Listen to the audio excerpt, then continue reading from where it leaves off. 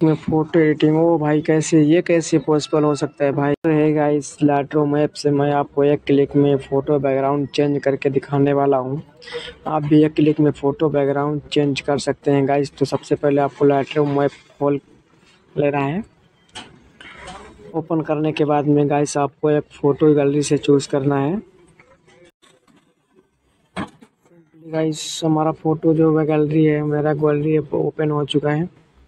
मैं यहाँ पे एक फ़ोटो चूज़ करने वाला हूँ। मैं एक फ़ोटो ये सिलेक्ट कर ले रहा हूँ। इसका एक क्लिक में बैकग्राउंड मैं चेंज करके आप आज दिखाने वाला हूँ। आप सोचते ही रह जाएँगे गाइस कि कैसे एक क्लिक में बैकग्राउंड एडिट कैसे किया जा सकता है। सबसे पहले आपको प्रोडक्ट पे टच करना है। टच करने के बाद कुछ इस टाइप से आपको बैकग्राउंड पीएनजी मिल जाएगा। एक टाइप में देखिएगा इस कितना औसम तरीके से एडिट हो रहा है। बने रहिए वीडियो में लास्ट एंड तक H D protect photo editing करने के लिए मैं आपको आज